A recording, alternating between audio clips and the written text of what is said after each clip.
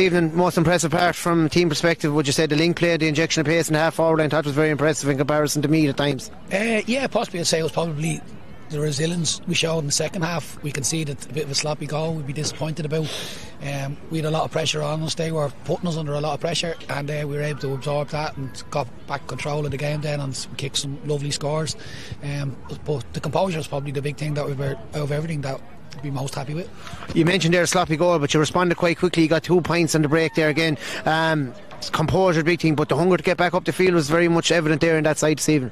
Yeah, without a doubt. Um, look, that's that's what the lads are out there training all the time to do. Um, they're not sitting around sulking about what's going on. They're, they're, they're seeing what's in front of them and they're, they're taking the chances when they're in front. So um, that's all you can do. It's all you can ask from them. Just making sure that we